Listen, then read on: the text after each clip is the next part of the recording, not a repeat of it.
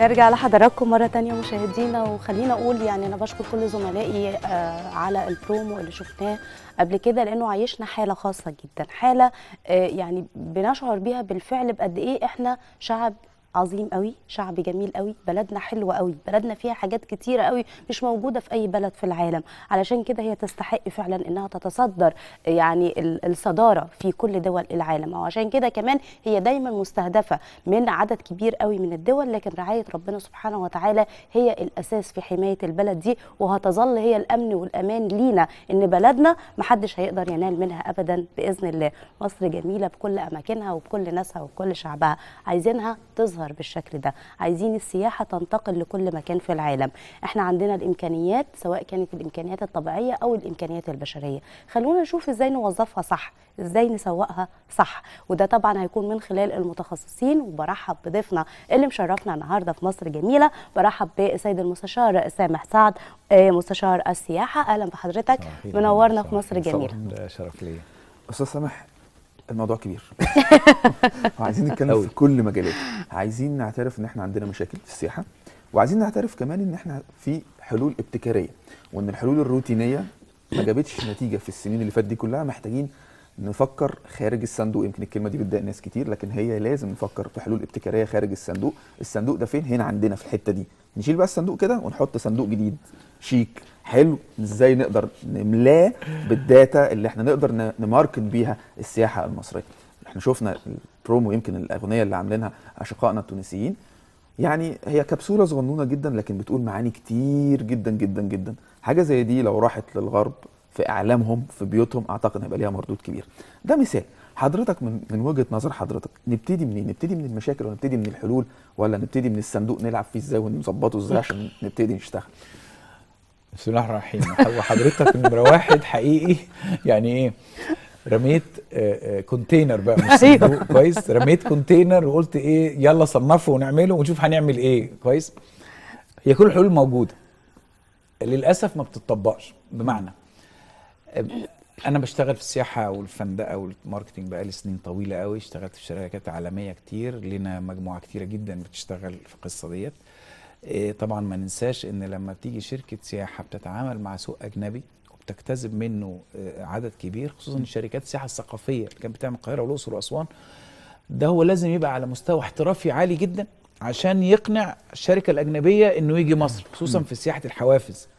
فهو بيتنافس مع العالم كله. فعشان يتنافس مع العالم كله لازم يكون على مستوى احترافية عالي جدا. فالناس دي إحنا بنكون أو كونا مجموعات عمل من 2011 لحد النهارده مشكلة والحلول والتطبيق وبنطلع بتوصيات كتيرة جدا. للأسف الشديد مش كل حاجة بنقدر نقول عليها بتطبق أو بتتعمل. لأن في. عقبات كتيرة جدا. في قوانين في حاجات كتير جهاز مركزي في حاجات بتحد المسؤول اللي بيشتغل في هيئة تنشيط سياحة على الأقل أو في وزارة السياحة إنه يتحرك لأن هو لازم يتحرك في إطار القوانين. مم. احيان كتيرة جدا القانون ما بيبقاش بيفكر جوه الصندوق. يعني القانون هو الصندوق ما بيعرفش يطلع براه. آه، آه، في حتة عايز أفهمها أوضحها. وزارة السياحة دي مشرع. جهاز حكومي يعني وزارة حكومية بتدي تشريعات وبتراقب تنفيذها وبتنظم عمل كل المؤسسات اللي بتشتغل في السياحة. ده وزارة السياحة. تمام. وزارة السياحة ليها دراعين تنفيذيين. الدراع الأول هيئة التنمية السياحية وهي مختصة بالأراضي والخريطة السياحية وتنميتها. والدراع الثاني هو هيئة تنشيط سياحة.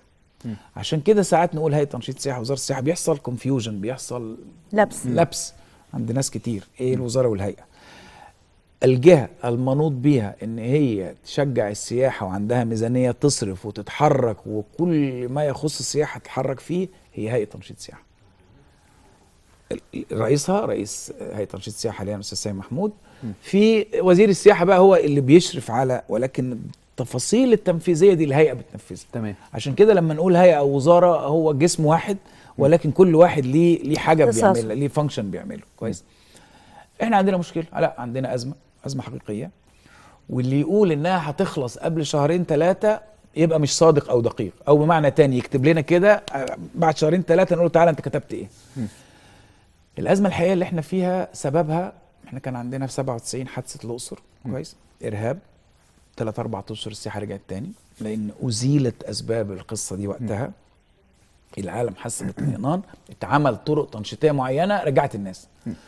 الأزمة اللي إحنا فيها النهارده للأسف الشديد ما بحبش أقول كده لكن إذا كنا واقعيين عشان نعمل حسابنا هتستمر شوية. ليه؟ لأن حضرتك عندها ظروف سياسية في المنطقة ككل كويس لم تزال. بمعنى لسه ليبيا فيها مشاكل داعش في سوريا. و و فالظروف السياسية دي باستمرار هتحاك مؤامرات ضد مصر علشان يرجعنا تاني. إيه أهمية السياحه لمصر؟ ببساطة قناة السويس في 2010 جابت 5 و6 من عشرة 6 مليار دولار دخل. دخل ده دخل الدولة. رجع لنا كلنا في صورة خدمات وفي صورة الدولة. السياحة جابت 14 و7 من عشرة يعني جابت ثلاث أضعاف تقريبا قناة السويس. الدخل ده دخل الدولة ورجع لنا كلنا في صورة أسرع من الدولة. بمعنى أنا بشتغل في السياحة دخل انتعش. مش هركب تاكسي ولا مش هركب آه، اتوبيس ولا ميكروباص هركب تاكسي هشتري عربيتي. فالدورة الاقتصادية مشيت أسرع أنا مش عايز أخش في تفاصيل الحتة دي. فدي أهمية السياحة إن المواطنين بيستفيدوا كلهم مباشرة منها. هي السياحة مهمة يعني إحنا مش محتاجين إن إحنا نقول إيه أهمية السياحة. الناس كويس. كلها عارفة السياحة مهمة إزاي. كويس. وفي عدد كبير جدا من الأسر المصرية بتستفيد من السياحة وإنتعاش السياحة بالنسبة لنا ده شيء أساسي. ولكن زي ما حضرتك تفضلت وقلت ربما تكون في هناك بعض الظروف اللي بتمر بيها المنطقة كلها ومش عايزة أقول المنطقة العربية بس دول العالم. إحنا شفنا إيه اللي حصل في فرنسا في الأسبوع الماضي وأثر بشكل كبير جدا. فهنا في علامة استفهام. هل إحنا بنستثمر الموارد الخاصة بينا استثمار جيد. هل إحنا السياحة في وقت من الأوقات أخذت المكانة الحقيقية اللي يجب أن هي تستحقها حتى بصرف النظر عن وجود بعض المشكلات اللي موجودة حاليا؟ حضرتك بتشير ل 2010 برغم أن الرقم ده بيعد من أكبر الأرقام اللي حققتها السياحة لكن برضو أعتقد أن إحنا لا نستحق أكتر من كده بكتير. إذا هنا في مشكلة. إحنا عندنا مشاكل. كويس. المشاكل دي يعني أنا ابتديت بقول إيه؟ إحنا كناس بتشتغل في السياحة والوزارة هو عارف 90% من المشاكل دي. يعني مش لسه واحد هيجي يحكي لي فكرة أو يقول لي إيه رأيك نعمل لا إحنا عارفين المشاكل إيه هي. ولكن عشان ما بتتنفذ يبقى في معوقات طب معينة. نوصف المشكلة. يعني عشان بأي مشكلة- حاجة لازم أقول آه، وصف المشكلة إيه هي. أول مشكلة عندنا كمصر كويس إن ما عندناش طيران. بمعنى ما عنديش دراع أقدر أجيب بيه سياحة باستمرار لو حصل أي مشكلة من المشاكل اللي بتطاردنا يعني يعني إحنا مثلا إيه لما جينا السنة اللي فاتت قلنا هنشغل الأقصر. واجتمعنا بشركات السياحة الألمانية كان معالي الدكتور هشام زعزوع وزير السياحة وقتها. اجتمعنا بالأكبر خمس ست سبع ثمان شركات ألماني بتجيب سياحة لمصر. وقال له أنا عايزك تستمر على الأقصر. ابتدى يطلب طلبات. إحنا شفنا إن الطلبات دي مغالى فيها. وهو بيحاول كده ياخد أي فلوس زيادة من الحكومة فرفضناها. فحصل يعني مقاومة معينة. ليه؟ لأن هو بيقول أنا عندي الطيارة. إحنا طبعا لازم نقول حاجة. مصر طيران شركة كبيرة جدا بس مش هي دي اللي هتنقل لي السياحة. عدد أسطول هي عندها مشاكلها كشركة أسطول طياراتها ما يكفيش. ليها وجود سياسي معين في بلاد معينة فاحيانا الخطوط دي بتخسر بس لازم تبقى موجودة. فإحنا لازم نشيل من دماغنا كلية نقول إيه هي مصر طيران فين؟ هي موجودة بوضعها. لكن أنا لازم يكون عندي شركة آه، قوية كبيرة عندها أسطول كبير بتشتغل بنظام الطيران منخفض التكاليف بنظام التشارتر بحيث إن أنا لما يحصل الموقف زي ما جم الألمان وقالوا إحنا مش هنشتغل نطلع إحنا نشتغل نجيب الحركة البديل. بتاعتنا. ال- ال- الشركة دي بتبعد عن الفكر والروتين الحكومي لإيه؟ لأن بيبقى في مصاريف عالية لازم هو يبقى على مستوى المنافسة، يعني إحنا سمعنا عن شركتين ثلاثة في أوروبا easyJet Ryanair الكلام ده. التذكرة ب 20 استرليني أو 20 يورو من باريس لبروكسل مثلا خلاص الطبيعي ما حدش هيملى طيارة ب 20 جنيه ولا 20 يورو لأن التكاليف أعلى من كده. ولكن دي صيغة آه، دعائية. اللي هو بيقول أنا ببيع ب 20 يورو Ryanair مثلا عنده 300 طيارة. خلينا نتحاج... ن- ن- نشوف الرقم. easyJet عنده حوالي 260 طيارة. شوف الرقم الضخم دوت. ليه؟ لأن هو اشتغل بفكر اقتصادي عالي جدا بفكر تسويق عالي جدا في أوروبا وما- ووصل للرقم الضخم من الطيران دوت. فإحنا يعني محتاجين جاب تكلفته خلاص وعداها. توصل حضرتك ل 200 آه. مصر انت طيران. بتتكلم على الكم بقى دلوقتي لو آه. دخلنا على ال website بتاع الشركة الأفضل مصر طيران أنا بتكلم على معلومات أي حد يخش عليها. إجمالي الطيارات اللي شغالة 79 طيارة.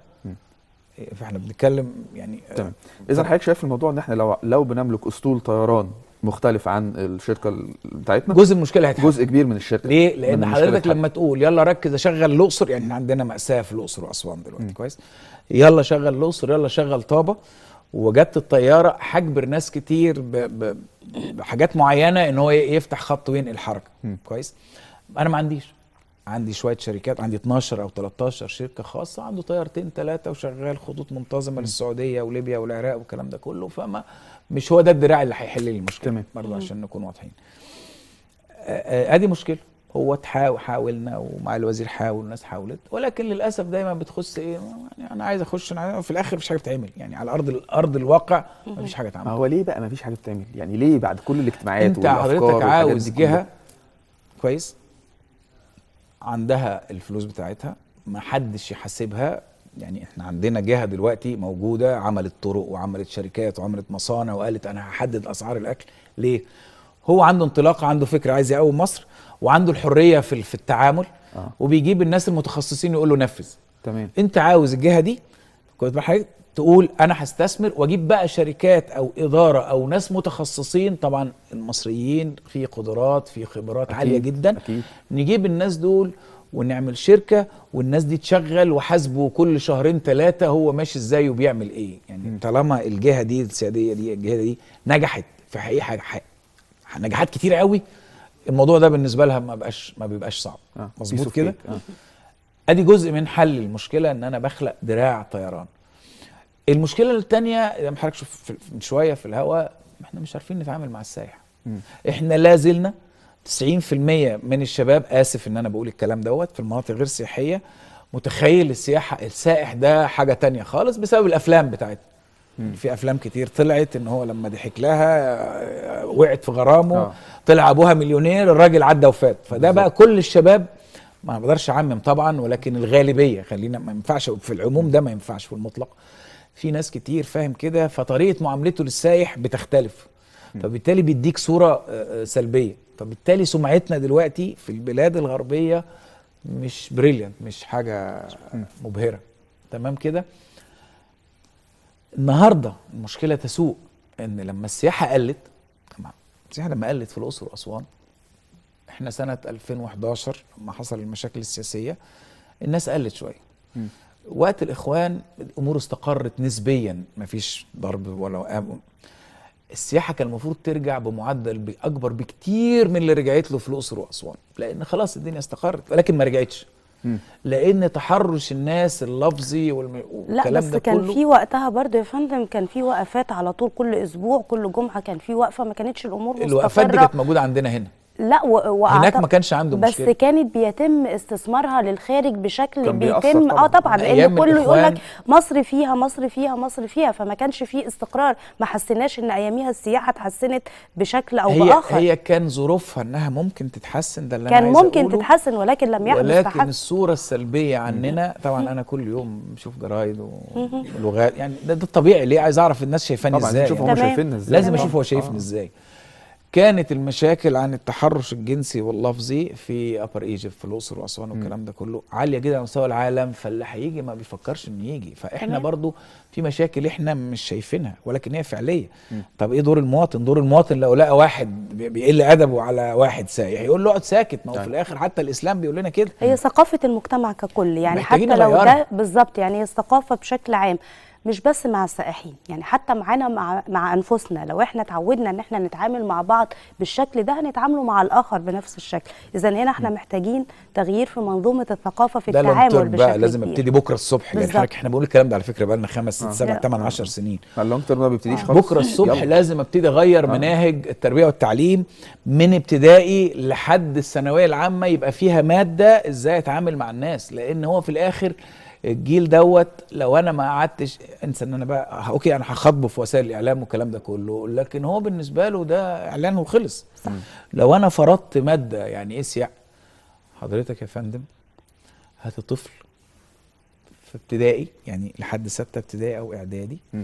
في أي بلد صغيرة قد كده في أفريقيا وقول له أخبار مصر إيه هيحكي لك تاريخ الفراعنة اللي إحنا مش عارفينه صحيح أنا بتكلم على أفريقيا صحيح. أيوه ولا جامد. جدا فعلا بقول لحضرتك. كده لما بيجوا هنا بينبهروا الناس عارف كل ده. حاجة إحنا آه. ما نعرفش والله آه، العظيم. الكلام دوت أنا لما درسنا في التاريخ حقيقي. ما خدناش عمق التاريخ بتاعنا أي طفل في أوروبا وفي العالم كله مصر بالنسبة له حلم يشوفه بس ده خليني عايز أقول لحضرتك. حاجة معلش عايز أرجع. تاني لموضوع التحرش معلش. عشان أنا أيوة. الكلمة دي بتضايقني جدا والله وأنا. لأن إحنا عندنا نخوة ورجولة مش موجودة في أي حتة تانية أنا متهيألي يعني من من وجهة نظري المتواضعة إن دي حاجة مفتعلة وكانت بيسلط عليها الضوء مخصوص عشان يوصلوا الصورة دي للخارج بأي شكل من الأشكال عامة بشكل عام فلما بتسوق إن عندنا تحرش لفظي أو تحرش آه، بالايد أو كده عامة أعتقد إن أنت كده أنت بتضرب السياحة indirectly يعني بطريقة غير بالظبط مباشرة كده هو ده اسمه مر... ده اسمه إرهابي تاني يعني في ارهابي بيحط ينور قنبلة. وفي. إرهابي تاني حقيقي بالظبط.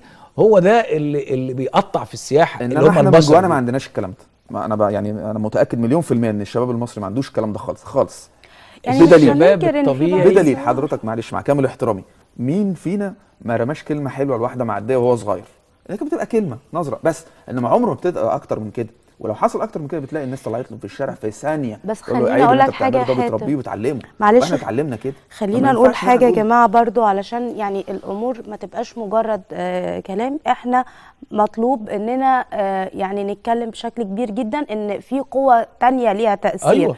الدراما أيوة. زمان كان رأفت الهجان هو المثل والقدوة بالنسبة بالظبط للشباب كده، بالظبط النهاردة. عبده موتة بقى هو القدوة كده، بالنسبة للشباب كده. هنا يبقى لازم كلنا كأجهزة كلنا كمنظومة لابد إن إحنا نعيد ثقافة التربية نعيد ثقافة الشباب الشاب أنا لما كنت بتفرج على عمل درامي كنت بتأثر بيه كنت بعرف قصة إزاي إن إحنا حاربنا في أكتوبر وعرفنا كنا إزاي إن. أنا عندي قدوة زي رفاعة الطهطاوي زي طه حسين زي زي زي. النهارده فين ده؟ النهارده النماذج اللي بيتم تقديمها بالنسبة للشباب هي عنصر تخريب بالنسبة للشباب وعنصر تخريب داخلي قبل ما يكون عنصر تخريب خارجي. فهنا ال- المسؤولية مشتركة. مش المسؤولية مش بس على قطاع السياحة الفن ليه دوره الإعلام ليه دوره المواطن العادي ليه. دوره. المنظومة هنا بقى يا. فندم. آه البيت بقى خلاص. إزاي أعمل رابطة للمنظومة دي؟ إزاي كل ده يبقى مع بعض في تراك واحد أو في آه، آه، مجال واحد بيسير لتحقيقه؟ هو حضرتك في سنة 2010 اتعملت حملة اسمها السياحة خير لينا كلنا. الحقيقة أنا جبتها من على اليوتيوب وبتفرج عليها من وقت للتاني. إحنا هاجمنا الحملة دي إحنا هاجمنا الحملة دي. إحنا مين حضرتك؟ آه، الفيسبوك ال social آه. اللي هو إيه ليه بقى إحنا بنقول هاجمناها؟ قمة قوة الحملة دي قد حد يخش على اليوتيوب يكتب سياحة خير لنا كلنا. قوة الحملة دي بيقول إيه؟ إن الراجل السواق التاكسي ذكي زيادة عن اللزوم فلما الخواجة ركب معاه السائح قعد يلففه عشان يطلب منه رقم كبير. وفاهم إن هو كده راجل فهلاوي فعين إن السائح قال الراجل ده وحش ومش هتعامل معاه تاني. فهي كشفت الحملة دي كشفت سلبيات كتير. إحنا بنعملها مع السائحين. بتقول إيه؟ ما تعملهاش لأن كنت أنت آه. متخيل إن أنت ذكي ما أنت في الآخر ما حدش ركب معاك فأنت خسرت. إحنا هاجمناها ليه؟ ما يصحش إن إحنا نعمل كده. يا سيدي ما أنت عندك المشاكل دي.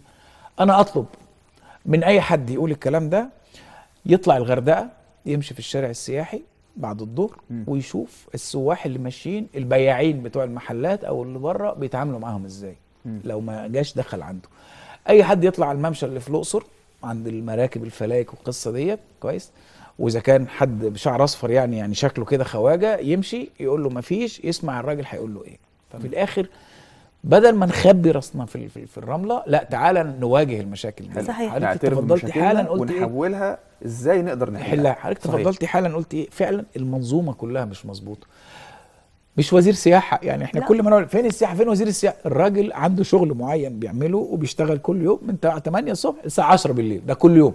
ده كل يوم بما فيهم الجمعة والسبت. لكن هو مش هيحل بقى التعليم لا يعني كل. واحد بدوره يعني هو بالتأكيد عليه التزامات وعليه مسؤوليات يجب إن هو يقوم بيها إذا يعني كان في نوع من ال ال ال آه، القصور فيها لابد إن إحنا نتكلم عنها ولكن أنا بقول إن دي مسؤولية أنا بتكلم عن حاجة اقتصاد دولة مش بتكلم عن آه، جزئية خاصة بحاجة لا ده هيأثر على حياتي وحياة حضرتك وحياة كل مواطن المشكلة بقى بيعيش. حضرتك لسه المشكلة دي فين دلوقتي إحنا ابتدينا نفقد مكانة عالية جدا في السوق العربي بمعنى. عدد ضخم من العرب عندهم شقق موجودة في القاهرة ده حقيقي. واسكندريه ده حقيقي. مظبوط عدد ضخم جدا من الناس أصدقاء كتير أنا أعرفهم ما جاش مصر من أربع خمس سنين ليه؟ مع إن دي بيته شقته بقى عايز يجي يقعد آه، فيها ملكه. ما شافهاش ليه؟ لأنه هو اللي بيسمعه في وسائل الإعلام بيخليه يفكر مرتين وبعدين هما كان يجي يعمل إيه؟ هو يجي عايز فن عايز يخش مسرحية عادل إمام عايز يخش عايز يخش. صحيح. شوف النجوم كل. في كانوا بيجوا مخصوص دول فين دلوقتي؟ في دبي. صحيح. النهارده دبي حضرتك ممكن تلاقي الفنان الفلاني الفلاني المطرب المشهور عامل حفلة في دبي الناس بتركب وتقعد وتروح. دبي خدت مني الكلام ليه؟ لأن أنا إحنا كالعادة أذكياء زيادة شوية عملت السائح ده إن راجل معاه فلوس كتير وبالتالي أصبح استنزفوا بالظبط كده بطريقة هو مش مبسوط منها. لما جينا نعمل حفلات كل واحد دخل من الضرايب في حتة فأصبح إنك تعمل حفلة مطرب من المطربين دول رقم عالي جدا وبالتالي عليه. أكتر فبيضطر ما بتعملش. أنا هعمل حفلة أصرف كام عشان أخسر كام. فدبي خدت مني آه، آه، المكان دوت. إحنا لا زلنا زي ما ابتدينا بنتكلم بفكر 15 سنة فاتت. حلو. حضرتك بتقول دبي دبي دبي. الفكر الدبياني لو نقدر نقول الكلمة دي يعني الفكر متطور جدا. بيفكروا إزاي يستثمروا كل حباية رملة. بيفكروا إزاي يستثمروا كل ثانية بيفكروا إزاي يستثمروا كل شخصية كل ايفنت كل حاجة. ومن خلال ده حصل كده. حضرتك عاملين كنتوا عاملين مبادرة اسمها مبادرة مصر في قلوبنا. صح كده؟ آه نرجع عشان بس وقتنا سريعا. كده عايز أقول لحضرتك الحلول. حاجة إيه ال- إيه ال- الحلول. إزاي استفيد من المبادرة دي وما افكرش إن أنا بنفس ال package دوت أطلع تركيا ولا أطلع دبي ولا أطلع أي مكان هو مكان تاني؟ هو سبب المبادرة البلد دي بيا. ابتدينا فيها من سنتين تقريبا. كان معايا الدكتور هشام زعزوع برضو هو اللي ابتدى فيها إن أنا عايز أشغل الأقصر وأسوان. الأقصر وأسوان ما فيش سياحة الناس حالها صعب فحاجة من اتنين. يبعت سياحة يبعت ناس. ما ينفعش نوزع فلوس. فعشان أبعت ناس آه، ساعتها قلنا إيه هيتحط فلوس من وزارة السياحة لقلل تكلفة الرحلة ب 500 جنيه فتقللت تكلفة الرحلة الاقصر وأسوان ب 500 جنيه عملت رواج. آه، اشتغلنا فيها كويس قوي. هيئة تنشيط السياحه الحقيقة يعني اللي هو أحمد حمدي عامل فيها جهد جامد. ووصلت ل 700 جنيه بسواء قطر أو طيارة. اللي ياخد باكج رحلة سياحية للأقصر أو أسوان سواء مراكب أو فرد عام بتدفع 700 جنيه لتقليل تكلفة الرحلة عشان أبعت ناس كتير أمشي اقتصاد البلاد دي. مؤخرا لما حصلت أزمة شرم الشيخ اصل شرم الشيخ دخلت تحط 500 جنيه في قيمة التكلفة علشان يبقى في الآخر التكلفة آه، آه، أقل. نفس الكلام مع طابا ونويبع. آه، الموضوع ده في الأول كنا كان معمول مع شركتين سياحة بس كقطاع أعمال علشان يبقى في control شوية. مؤخرا الأسبوع دوت مع اتفاق مع غرفة شركات السياحه دخل حوالي 100 شركة وبيزيدوا. فالإعلانات اللي جاية هتنزل تقول مبادرة مصر في قلوبنا وفي website promo عنوان آه، في ال في ال في, ال في الإنترنت علشان يخش عليها الشركات المشتركة اللي عايز يخش معاها يشترك معاها يعني يعني يشتري من الشركة اللي هي مشتركة واللوكندات وال- وال- والحاجات المشتركة في هذه المبادرة موجوده. المبادرة دي محطوط لها رقم عالي جدا تبعت عشان تبعت 20000 آه، آه، شخص عشان نقدر نحرك السياحة الداخلية ويكون حاجة حقيقية مش مجرد إن إحنا عمالين في الشارع نهيص ونزيط. ونقول شرم في قلوبنا ولكن حقيقه الأمر إحنا حاطين package هي في حقيقي. قلوبنا فعلا بس عايزين نتحرك بقى. بالظبط كده. آه. محتاجين حاجة- package حقيقي عشان أبعت سائحين عشان أحرك ال- صحيح ده اللي بنتمنى إن هو يحصل وإن شاء الله هنقدر إن إحنا نتخطى المشكلة دي زي ما قدرنا نتخطى مشكلات كتير. كتير. كتيرة بإذن الله آه. عندنا العقول وعندنا. الإمكانيات وقبل ده كله عندنا إرادة ربنا سبحانه وتعالى وإن شاء الله دايما نحقق اللي إحنا عايزينه إحنا بنشكر حضرتك شكرا. جزيلا. سيد المستشار سامح سعد مستشار. السياحة يا رب السياحة ترجع تاخد مكانة يعني متقدمة بين دول العالم بإذن الله. شكرا لحضرتك. وهناخد فاصل ونرجع لحضراتكم مرة تانية ولسه معاكم ومصر دايما جميلة بإذن الله.